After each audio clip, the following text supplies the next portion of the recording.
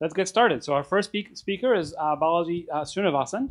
Balaji is the founder and CEO of 21.co. He's also um, uh, a partner a, a partner at Andreessen Horowitz. And I have to say, I had the great pleasure of teaching our crypto class, our, our sorry, our cryptocurrency class uh, with Balaji, who actually helped a great deal with uh, the lab for the class. So Balaji, looking forward to your talk.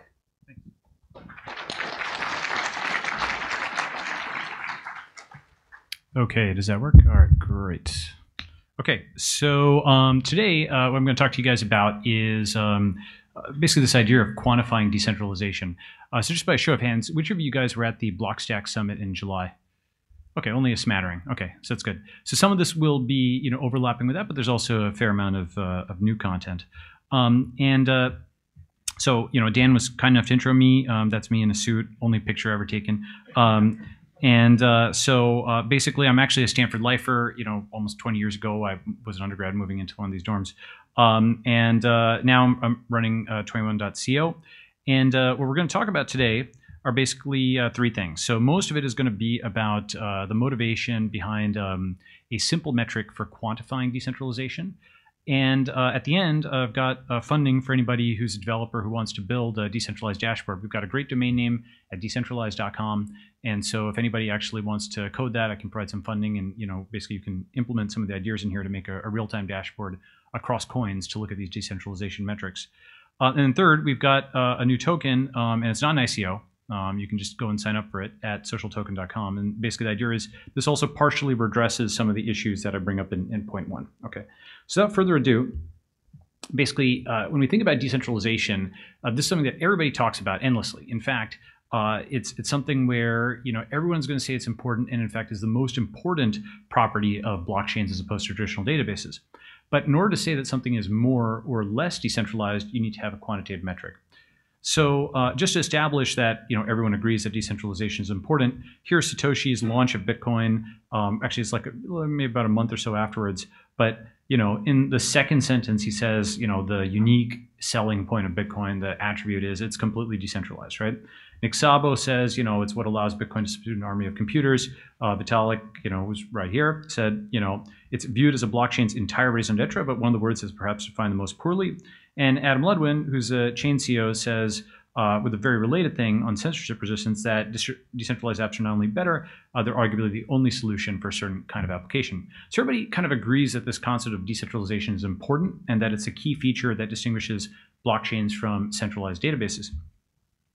And so the thing is that uh, it would be really useful to have even an imperfect measure with which to quantify decentralization. Uh, as I'll show later in the talk, imperfect measures of performance have allowed us to improve programming languages.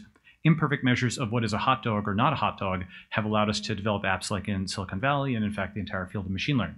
Um, you know, featureization is an imperfect quantification of something. The thing is that if you can quantify something, even if imperfectly, once you can measure it, you can say, okay, this improvement or that improvement increase the value of this function. And then you can actually plug that into an optimization algorithm. You know many of you guys here you know if you're stanford students you've taken convex optimization. But basically optimization requires a so-called loss function something that actually measures the property of something. So if you want to design an optimally decentralized system you need to actually have some kind of quantification of what decentralization is. Okay. So this is kind of motivation. People think it's important, and that if you could quantify it, it would unlock a whole body of mathematical tools that you could then apply to the situation, which would hold even if that quantification was imperfect. Okay, so to get there, to get to a quantification, we're going to just introduce a few concepts. So first is this idea of the so-called Lorenz curve. Now, this is something you've probably heard about, maybe from economics, uh, the Lorenz curve or the Gini coefficient. Um, it's used by economists to measure inequality. And the idea is that inequality of money and centralization of power are actually similar sorts of ideas, right? So let's just review these two, two ideas, right?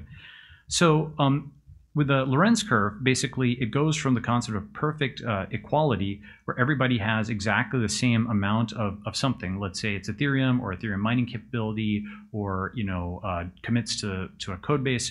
If everybody was exactly equal and they all had you know one Bitcoin, all you know seven billion people, which is not actually possible, um, then uh, you'd have a perfect equality like this, where it just it just basically be a, a straight line. Whereas if you had total inequality, only one person has everything and everybody else has nothing. Okay. And so this is this concept of the Lorenz curve, which is basically this this uh, you know this graph, and the Gini coefficient is essentially a, a, measure of how concentrated the Lorenz curve is. It's zero when you're completely equal, and it's one when you're completely unequal. And these are kind of two examples along that continuum. And so, um, so that's concept number one. Now, concept number two is uh, that we can take a decentralized system, break it up into subsystems, and measure Lorenz and Gini coefficients for each one.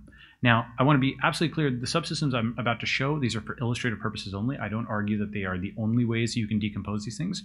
And the data is from July 2017. Uh, we'll do an update of this. Actually, I've got some funding for somebody who wants to make a real-time dashboard of it. So with those two caveats, let's, let's take a look at these decentralized subsystems. The basic idea is that um, you can take a public blockchain and you can enumerate a set of essential subsystems. For example, again, just for illustrative purposes, let's say that we say um, there's these six essential subsystems, right? So mining, um, you know, the, that is to say the distribution of block rewards across miners, uh, the different clients and uh, you know how they're distributed in production across you know nodes that you know you can actually see you know how what percentage of share is owned by different code bases. Uh, developers, and so within let's say the most popular repository, Bitcoin Core or Geth, uh, what is the distribution of commits? Exchanges, and you could see kind of what the distribution of volume is. Is it all focused in one exchange or is it spread out? Nodes by country and then ownership by addresses, right? These are just examples of subsystems. And then for each of these, what we can do is we can calculate Lorenz curves and Gini coefficients, right? So, um, you know, if we take the last 24 hours of uh, Bitcoin mining, it's actually fairly spread out. Um, and a bunch of different folks have earned some. And uh, so this actually has a relatively low Gini coefficient. It wasn't actually that, that centralized at the time that we measured this.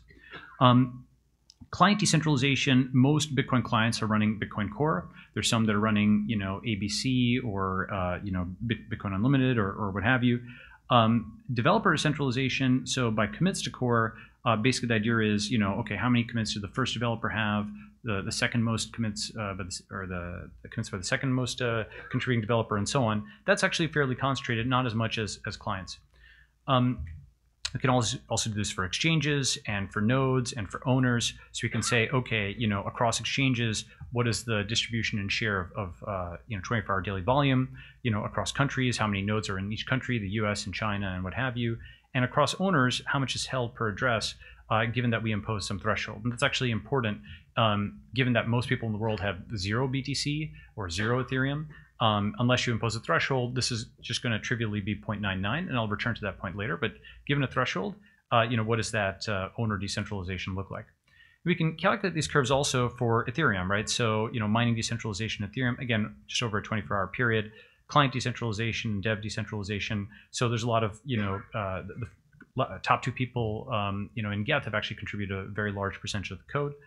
Um, exchange decentralization, you know, like again, volume across exchanges, no decentralization across countries, and owner decentralization. Okay, so this gives some sense of given these this choice of subsystems, this choice of metrics, how centralized they are.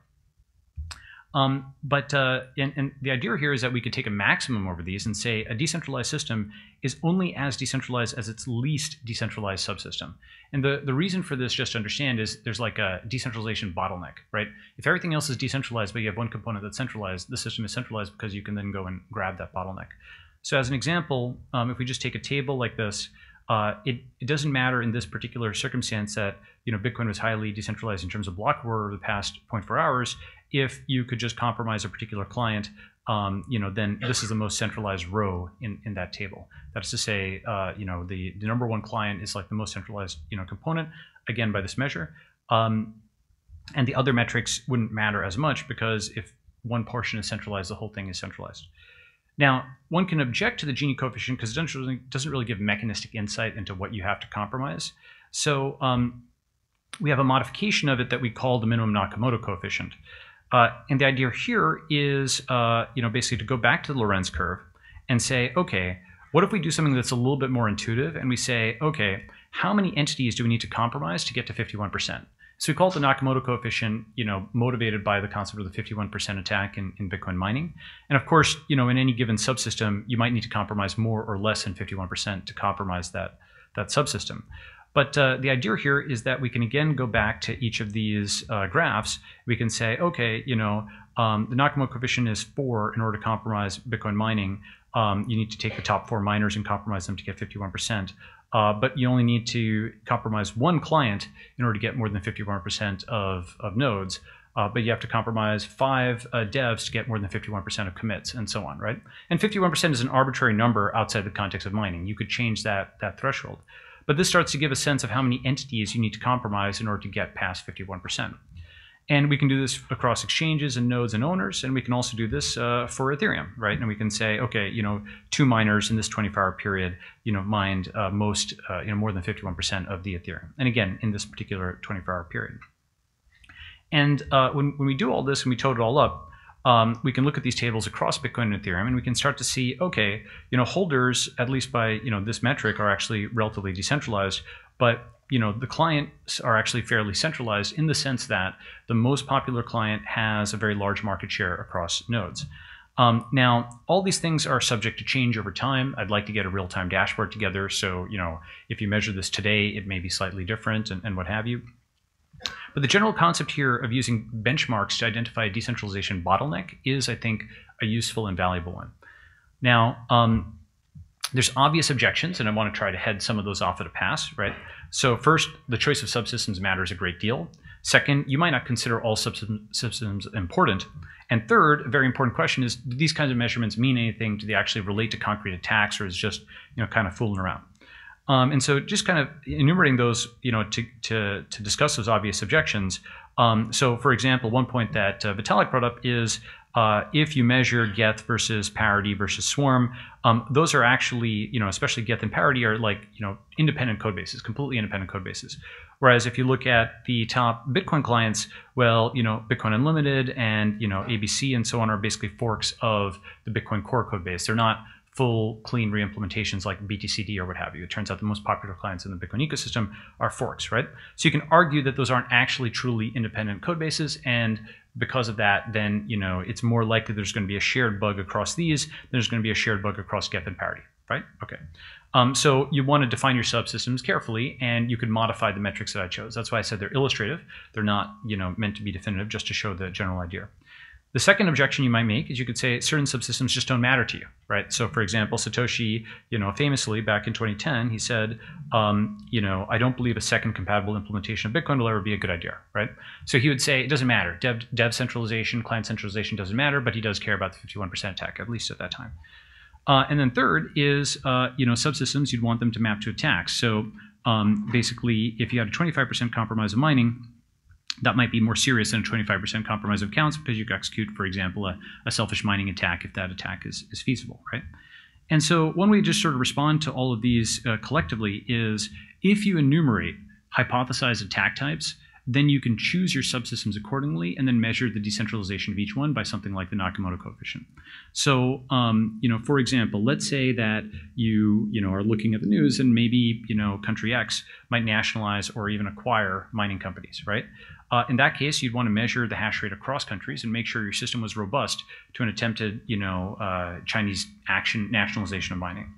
Another example is uh, if you expect the attack that you're looking at is there's a bug in one client's code base um, you'd want to have market share across nodes spread out such that you know uh, you know if there's something like the remote crash bugs in BU and Bitcoin Core or the parity multisig bug, um, the entire ecosystem wouldn't be affected by one client. And just to be clear, everybody who's working on these projects, they're awesome engineers and, and what have you. I'm, I'm, saying nothing negative about them. Simply that you know maybe not having all eggs in one basket may be a good idea if you um, if you suspect this might be an issue for the ecosystem. Third example. So, um, if anybody remembers, in 1996, Phil Zimmermann was prosecuted for, you know, rolling out PGP. Uh, so, if you know only one developer is doing all the commits for an important client, uh, well, there's a history and there's a precedent for you know government prosecution or what have you of, of, that individual. So, having that spread out could be good if you think this is going to be attack, an attack.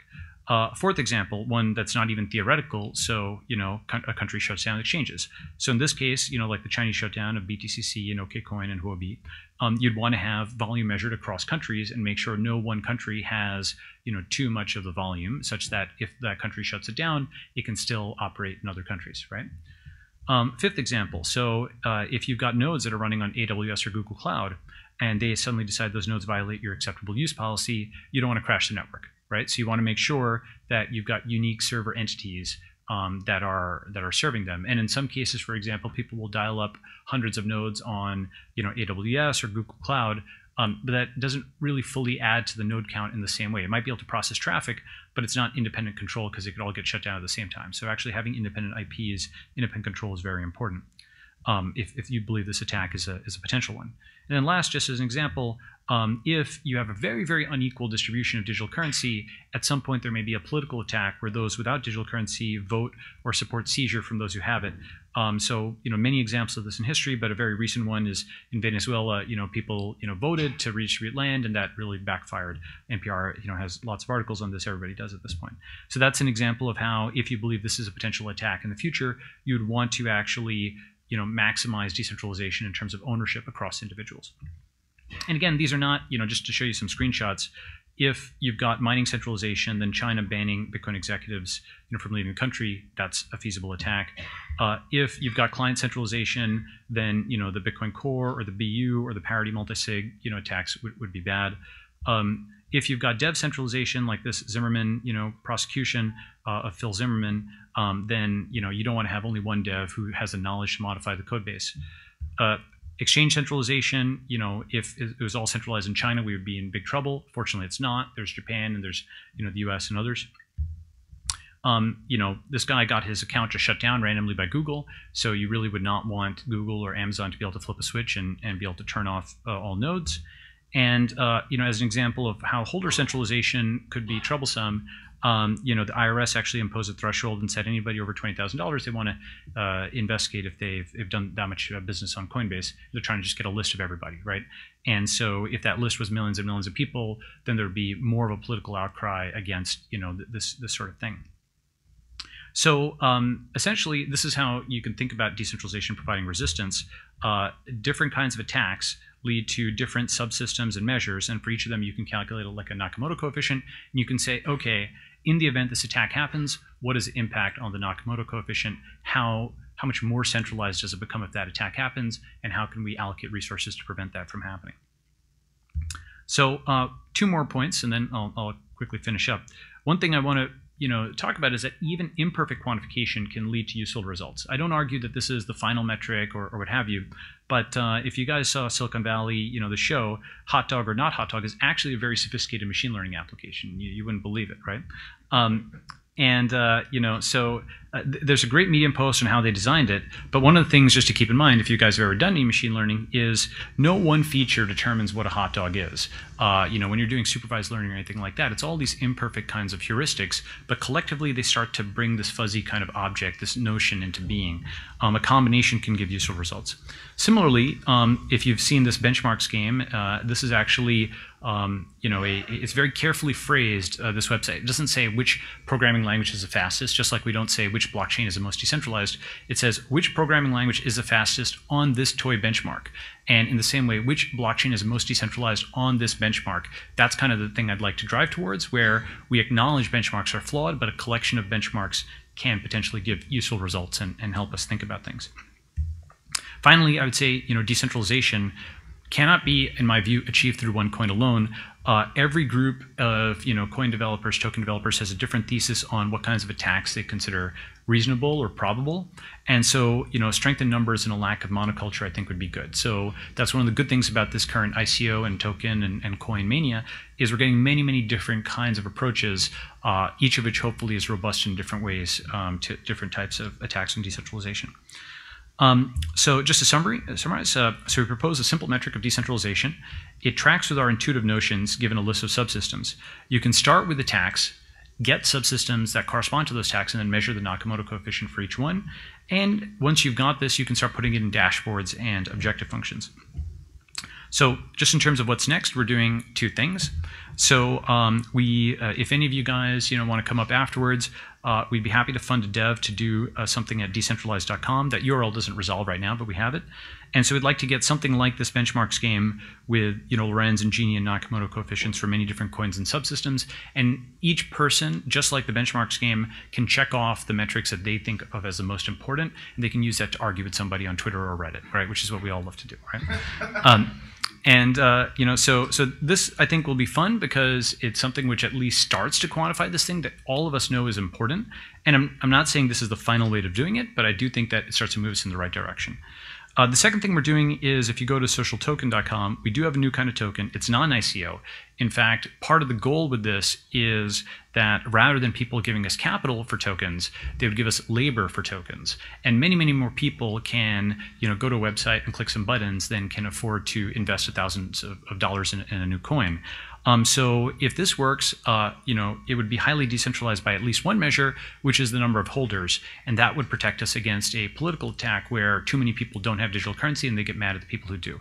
I don't argue that it protects us against a mining attack. I don't argue that it protects us against a node attack or what have you, but I do think that a, multitude of different approaches to protecting against attacks on decentralization is valuable, and this hopefully can contribute to that. So you can check that out at, at socialtoken.com if you want, and just go and go and sign up. So um, that's it. Uh, you know, thank you, and uh, happy to take questions when uh, you know for a few minutes, and then maybe we do the panel afterwards. Yeah.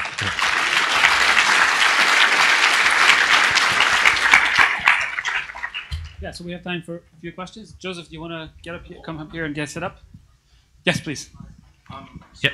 it seems like anything that has a really long tail is going to have a high Gini coefficient.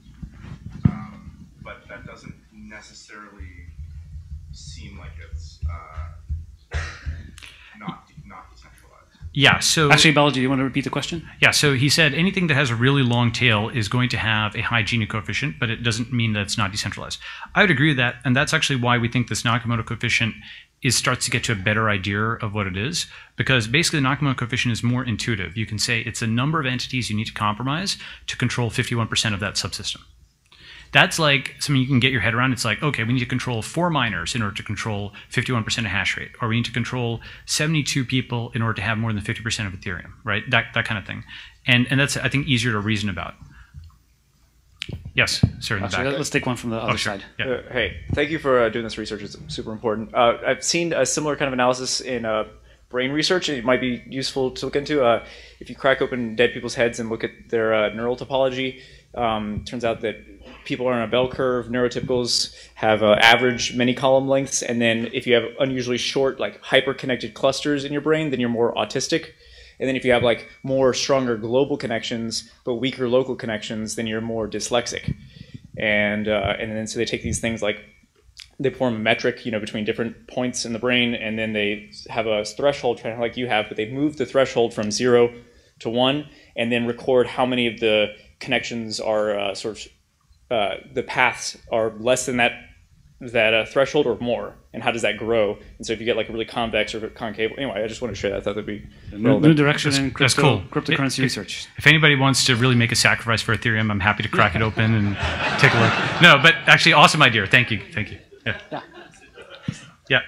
How does the idea of decentralization reconcile a gel with the idea of capitalism? Basically, so in capitalism, for example, if you have two nodes, they're identical will eventually get owned by a single entity because the marginal cost of ownership and operation is lowest with a single entity basically. So how does decentralization work with capitalism? Well, I think we're actually, you know, on the cusp of something which is step in which we can organize humans, right? Like so, uh, you know, Ethereum, you know, is not something that Vitalik is actually CEO of, right? Like it's something that is a decentralized organization where anybody can enter and take like almost the equivalent of an equity stake and then work to make it better. And there's no direct command and control sort of hierarchy. And yet, folks have made money on it, a lot of a lot of money. Um, so uh, you know that preserves some of the aspects of capitalism in the sense that folks can collaborate to you know put food on the table, uh, but it is not as command and control. So you know I'd say economics is going to take a be a V two over the next few years. Yeah. Hey, one more. Why don't we take one more yeah. question? Yeah, please. Yeah.